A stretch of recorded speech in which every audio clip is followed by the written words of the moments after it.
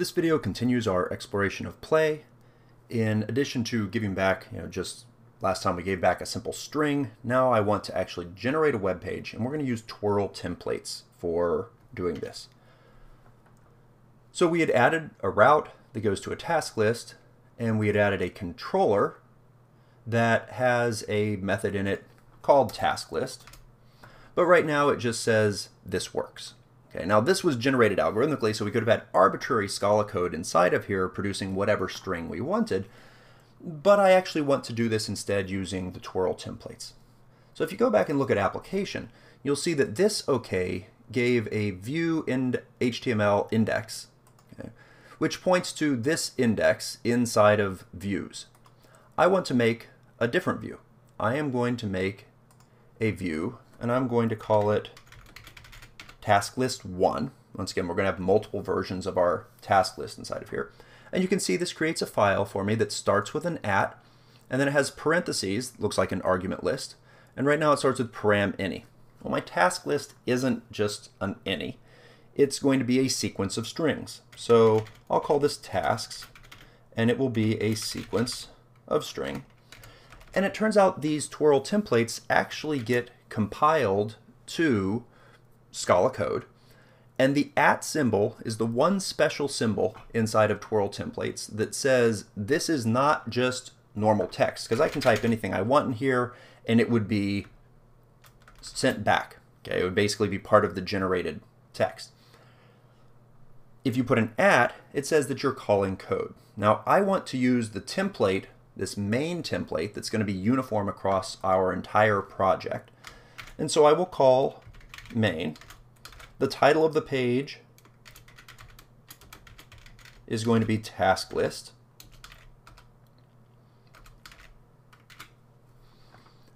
And inside of here, let's just go ahead real quick.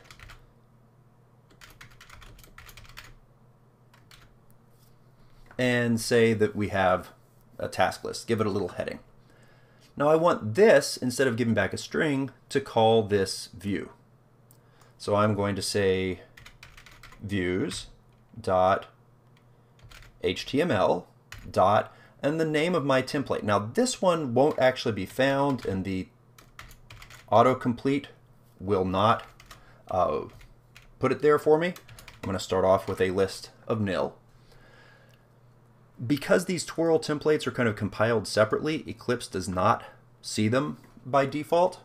Uh, you can either decide that you live with this for at least for a while, or there is a way of getting rid of it. If I refresh this page though, instead of saying this works, it should give us back our page that has a heading of task list, uh, but nothing else in it because that's all that we produced. If you don't like having that spurious error, turns out that if you regenerate the Eclipse project and refresh it, it'll go away.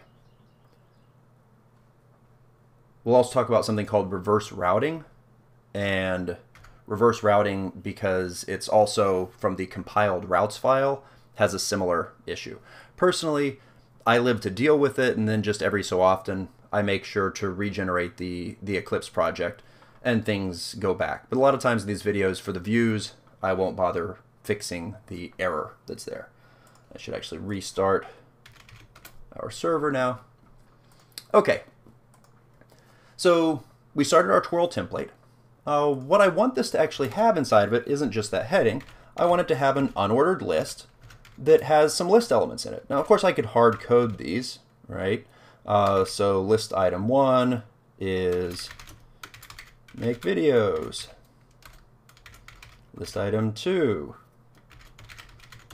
publish videos. List item three, sleep. Okay. Sleeping is a very good practice that my students don't do nearly enough, but you, you perform much better if you're getting adequate sleep. Let's just verify that that actually comes up in our page. We hit this, it goes through and it does a recompile. And if I had syntax errors, I'd find out about it. Yay, there we go. Okay. But I don't want that list to be these hard-coded strings. I want that list to be this sequence of strings. Now right now we're not passing anything interesting in, but how about we make something called tasks. I'm going to hard code it for now. Um, task one, task two, I need more quotes, task three. And instead of passing in nil, let's pass in tasks. So now my challenge is I need to get this sequence of tasks to be in here. Of course, I don't know how many of them there are, so I can't just say li of something like task sub 1. Okay, that won't work. Uh, if we were going through this in normal Scala code, we'd write a for loop. And it turns out that Twirl templates basically use Scala syntax, and so that's exactly what we're going to do. We're going to make a for loop, but to say that it's code, remember we have to put that at sign.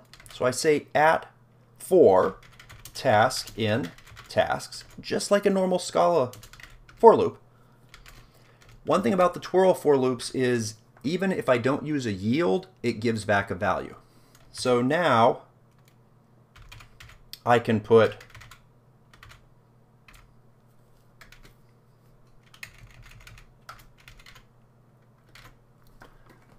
I can put a list element in here okay, and say task.